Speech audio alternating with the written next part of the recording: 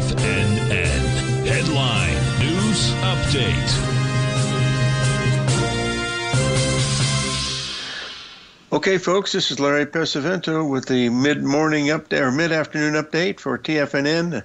It's all green when you're looking at stocks, folks. We got the S&P up 52, the Nasdaq up 348, the Dow Jones is up 300. It made a beautiful Gartley buy signal yesterday, and still lagging behind, but truck struggling in the fifth race at Hialeah is the Russell 2000, six links behind. It's catching up. We've actually had some type of a reversal here in Treasury bonds today.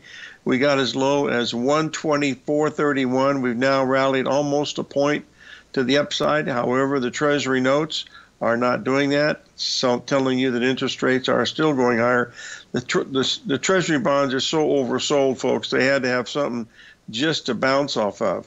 The other big news that we're having is we're having a lot of strength in the grain markets. We've got wheat up 10 cents, soybeans up 13 cents, and corn up 13 cents. That's a, a big move starting that we had thought was going to be continuing, and it certainly is. The other one that we talked about yesterday on the air was gold. Gold, gold got as low as 1936.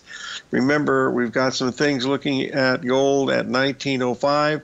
Silver just doesn't care. It just keeps going higher and higher. Uh, we went a little bit below the 382, and now we're trading 44 cents up on the day, with gold being down one. So, folks, don't be short silver. That is a, an extremely bullish chart. That's all I can tell you.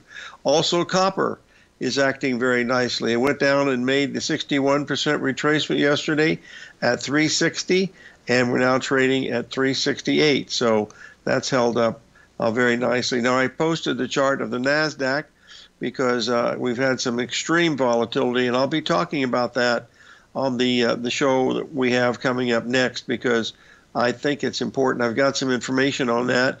I hope it's good information, but these days uh, you, you, you don't really know. So we will be, uh, we'll be covering that when we come back from the break, which will be uh, very, very shortly here.